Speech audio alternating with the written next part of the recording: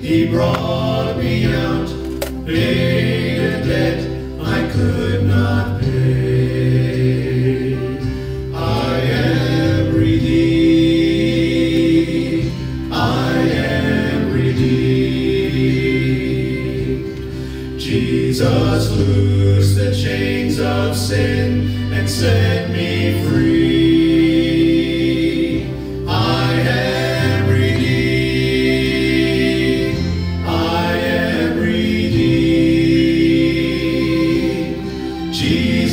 loosed the chains of sin and set me free.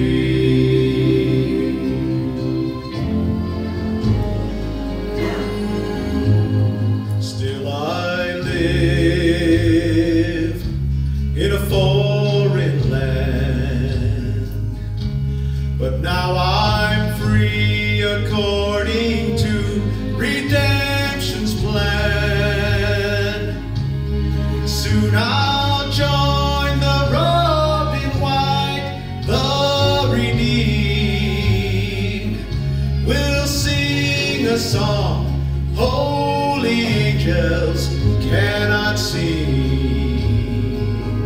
I am redeemed. I am redeemed. Jesus loosed the chains of sin and set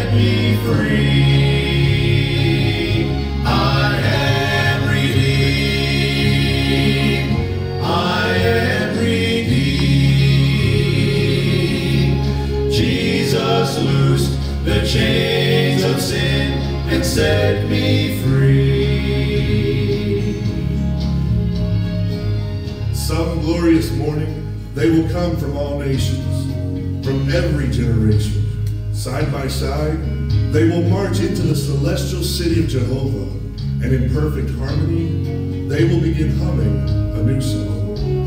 A song composed by God, arranged for his children as the saved by grace approach the land of their dreams. The host of heaven will step aside even the angels will be silent, for they cannot sing this new song, for for the voices who once cried out for the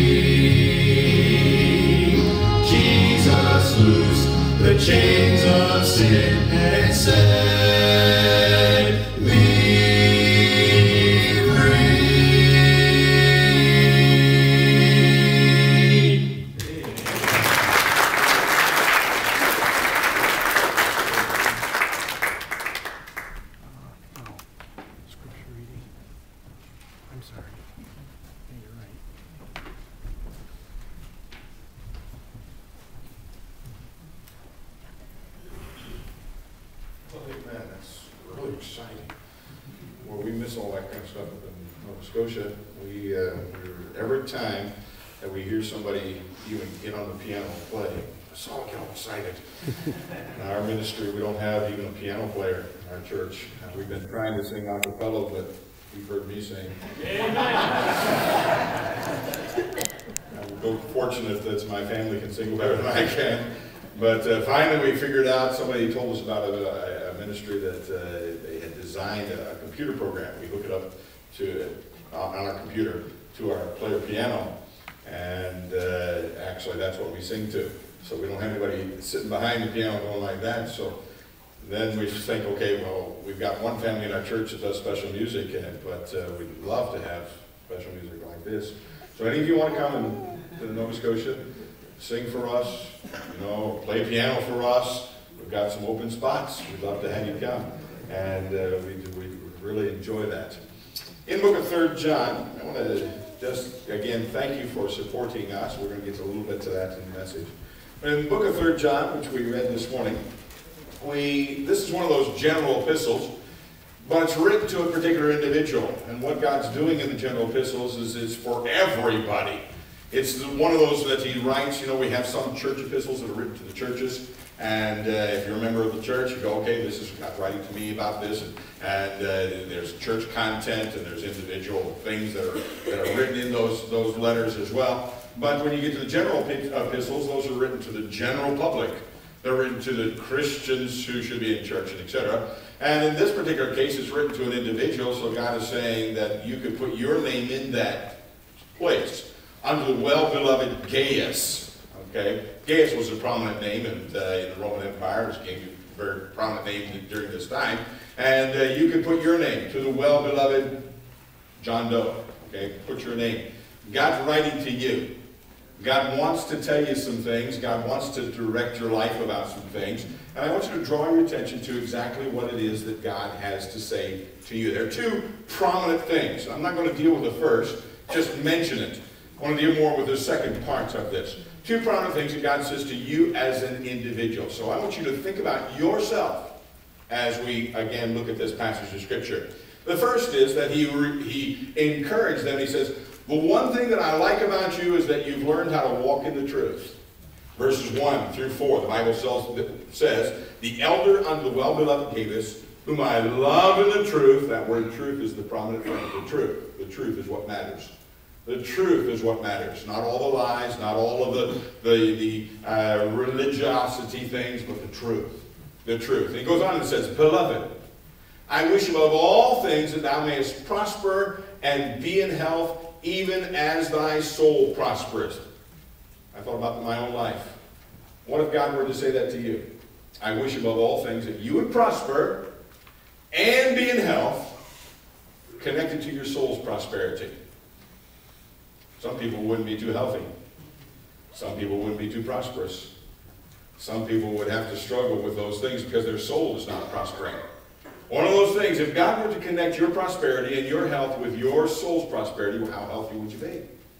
How much prosperous would you be? But that's not what I'm preaching on. Let's get on here. Bible says in verse number three, For I rejoiced greatly when the brethren came and testified of the truth that is in thee. You're learning the truth. You're being taught the truth. That's why you come to church. That's why you sit in Sunday school. I enjoy being in Sunday school, letting somebody else teach me this morning.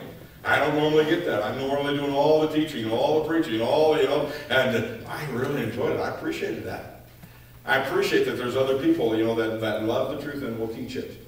And God says here, he's talking about, he says, I, I, I rejoice. They, they, he says, the truth that is in thee, even as thou walkest in the truth. So they're putting it in practice. They just weren't learning it, they were walking in the truth as well. And God ties it all together in verse number four. I have no greater joy than to hear that my children walk in the truth. Every pastor's desire, every missionary that I've ever met, every Sunday school teacher, uh, true Sunday school teachers we're talking about, that's our desire. No greater joy than to hear that our children walk in the truth, spiritual children, that they walk in the truth, that that's what matters. But that's the first part.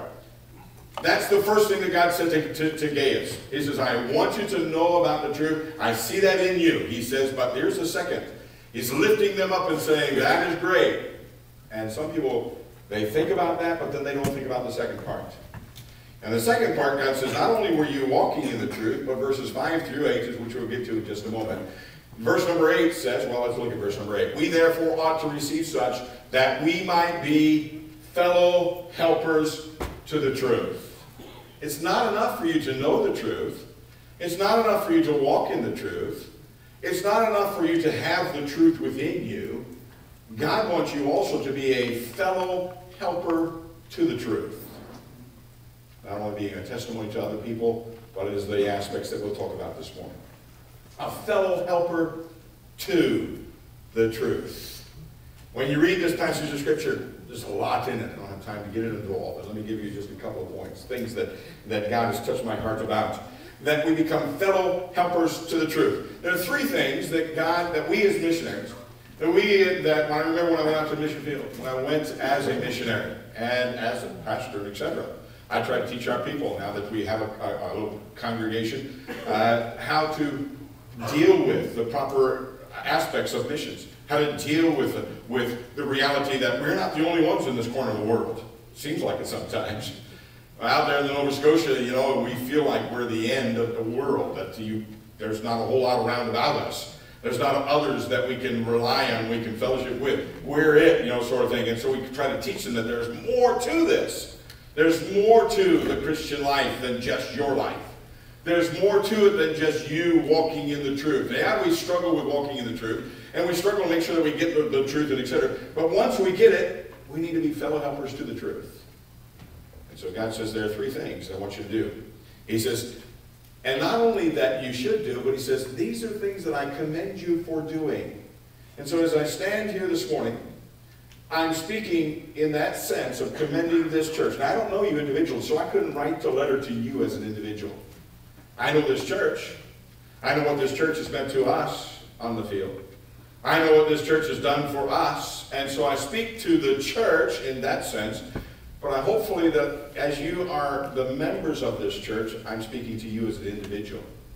I could write and I could say, unto the well-beloved church, although this is a general epistle, Messiah Baptist Church. And this will be true. But I want you to think about, is it true in my life too? As a member or as a coming to this church, whether you're a member or not, is this true about me as an individual? He says in verse number five, Beloved, thou doest faithfully whatsoever thou doest to the brethren and to strangers. But the first point is in verse number eight. Verse number eight says, We therefore ought to receive such. If you want to be a fellow helper to the truth, there are people who are willing to, to carry the truth, missionaries or whatever the case may be, but they need help. I couldn't be on the field without your help. It's impossible. I'll tell you a little bit about that as we get into this, but the things that, that we as missionaries we go through, we go away from what is home. We go away from all the things that we know and go to a place where, where we are strangers and we need to be reminded that we're that people that are fellow helping us have first of all done some their part. The first thing that God says is that you receive them. Verse 5. To the brethren and to strangers. When I first came to Messiah Baptist Church, I was a stranger to you, and yet you received me. I wasn't a stranger to Pastor Dave, he knew me, but you folks were, I was a stranger to you. I came back, I come back here after being on the mission field. I've been on the mission field for 31 years. I'm even stranger now than I was when I left. but I'm not a stranger to you. I might be a strange brethren, but I'm a, I'm a brethren now. And God says, I, I commend you for what you do for two people, the strangers and the brethren. When we first go to mission field, we're all strangers. I mean, when I was out on deputation raising support, and when I was, I went into churches, I was a stranger to. People took me in, and and, and, and they based it upon what we had believed and, and our doctrinal beliefs. But I was a stranger. I hadn't gone to the field. I, you didn't know what I was going to do. I mean, I told you I was going to go, you know, plant a church and try to win people to Christ. Same thing that you folks are doing. Baptize them and teach them all the things that, that the Bible uh, teaches. But I was a stranger to you, and yet you received us. You took us in and said, okay, we will be, we, we will accept that.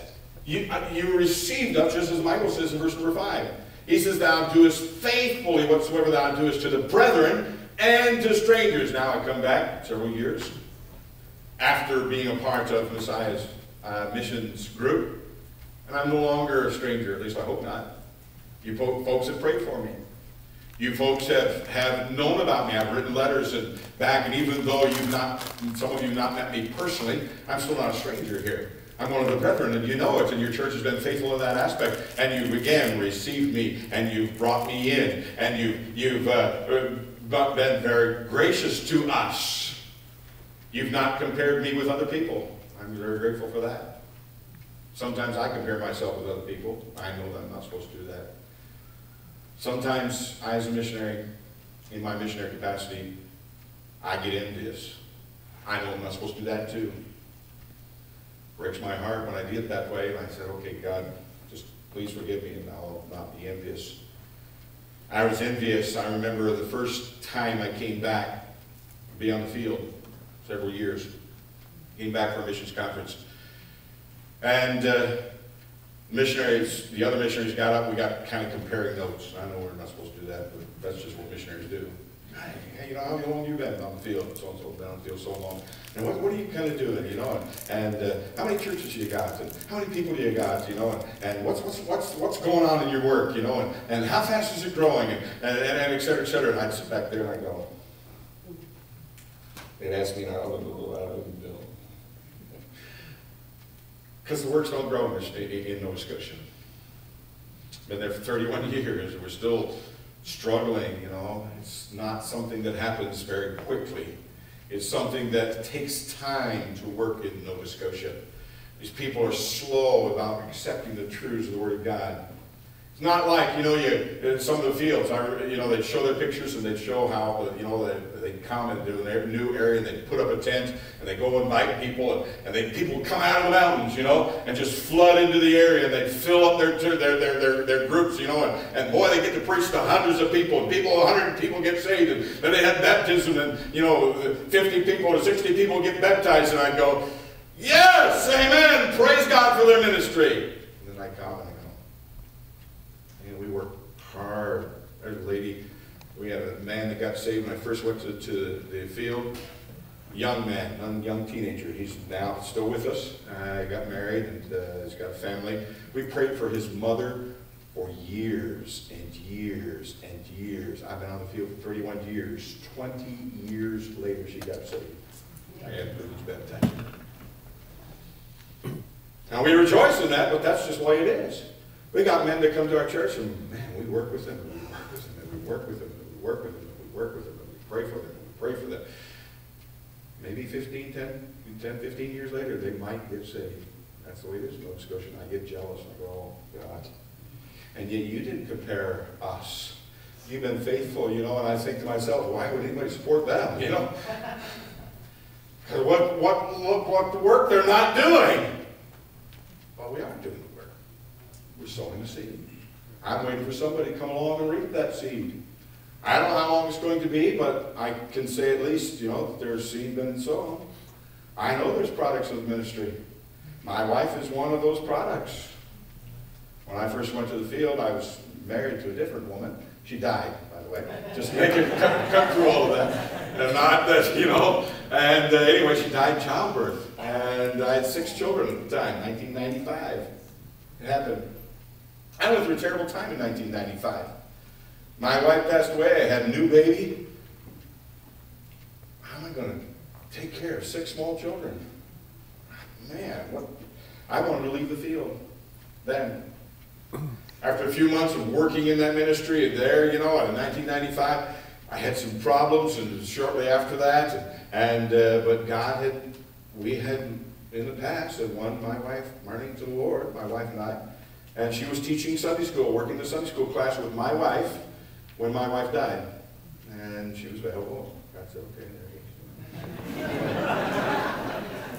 If I hadn't gone to the field, where would I be now? I'd be six, you know, would I be unmarried? I don't know, you know, but uh, I'm telling you, it takes time, it works, it's, it's hard work. And yet you folks received us under those uh, conditions. Had some problems with our sending church shortly thereafter. Wanted